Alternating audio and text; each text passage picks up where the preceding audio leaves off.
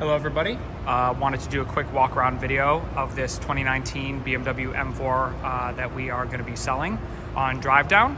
Um, this is one of a few cars that we're selling. You know, definitely excited to be uh, partnering with this exciting platform and being a part of something a little different. Um, so yeah, wanted to just do a quick walk around video. Obviously, um, did a you know detailed write up about the car. So if you you know want to see the specs and everything like that, that's below. Or actually, I guess this video is at the bottom, so it's above. But um, just wanted to do a quick walk around and show you the state of the vehicle. So there's a 2019 BMW M4 Coupe. Um, it does have the in my opinion, completely necessary competition package. The only thing that's a little tricky is it's got the 19 inch wheels that were standard with the non-competition package. So what a lot of people don't know that you actually had the option to do the 19s instead of the 666M 20 inch wheels that came with the competition package. I think these wheels, number one, they look great. Number two, they're not as prone to bending, cracking, or getting bubbles in tires as the 20s. So it's actually a nice option, in my opinion, if you're going to daily the car. Um, color combination mineral white over Sakhir orange, which I don't know why they call it Sakhir orange because it's basically red. Um, Mineral white's actually a pretty rare color to see on these. Um, it is a 2019, so it is technically an LCI or facelift. So it's got the facelift um, LED headlights, which I think are really cool. They have a little bit of a different shape. Um, with the competition package, you obviously get the blacked out grills. Um, you'll see in the back you have black exhaust tips and a black uh, M4 badge. Um, so just walking around the car, um, it's honestly in really, really good shape. Um, nothing really to report dent, scratch wise. We did a lot of recon to this car, which you can see in the maintenance uh, detailed. I mean, I know we did uh, oil change, microfilter, air filter, um, spark plugs, and he had just done uh, one owner uh, who bought it originally from us and traded it in actually on another M4 manual, a new one. Um, he had just done front brakes in November. So, you know, cars had a ton of recent maintenance. Um, so like I said, uh, mineral white. Um, the nice thing about this car is it does have paint protection film. So they did a really nice job. So it's got paint protection film on the hood, the headlights, the bumper, the front fenders, the mirrors.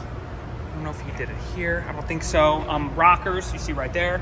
And then also on the back of the bumper right here. So um, honestly, the car's in really good shape as we walk around love the M4, you know, came out with this and it kind of has like a CSL style trunk um, from factory. It's kind of got that lip, which is really cool. Walking around, mineral white, such a cool color. It kind of presents as silver in some lighting conditions. Um, IND uh, painted front reflectors, which are nice because I hate orange reflectors that we get in the US. If you're somehow on our site from Europe, you're very lucky. Um, Sunroof, which I know will split opinion. A lot of people like the carbon roof on these. I like the sunroof, um, but I also have the carbon roof. I go either way. Um, it's nice if you want to drive it in the summer and stuff like that. Um, interior is honestly in great shape. This car, uh, an option that it has that I love, which really dresses up the interior, is it's got the full leather. So you've got leather on the door tops. You've got these split door panels here, right? And then the leather dash, which if I just pop a squat in here and take the uh, stickers off, you can see we've got sort of stitching that runs along here and then contrast red stitching that goes along the dash that's honestly stunning. Um, and the whole lower dash is leather too. So you've got this stitching here and down here. Yeah, definitely just dresses up the interior. It's also got the carbon fiber trim with the black chrome, which extends onto the door, which is just a really cool look. Harman Kardon sound system, Logic 7, so you got the subs under the seats, that's great. Wireless Apple CarPlay, you can see I actually have my phone hooked up to this, so if you just go over here, you can see you've got, you know, the wireless CarPlay on there. Um, car as it sits today, 40,279 miles. Looking at the seats, the competition pack gets the uh, bolsters, or sorry, the seat backs have the holes in them. They're lightweight sports seats with a little bit of more aggressive of a bolster, and they are inflatable with this switch right here. Um, seats in great condition. Honestly, just a tiny bit of wear there. But other than that, looks really good. Back seats look like they've never been satin, which is Pretty typical for these, even though you can definitely fit people on the back. That's one of the cool things. I don't have the key, stupid. Just wanted to show you the passenger side real quick.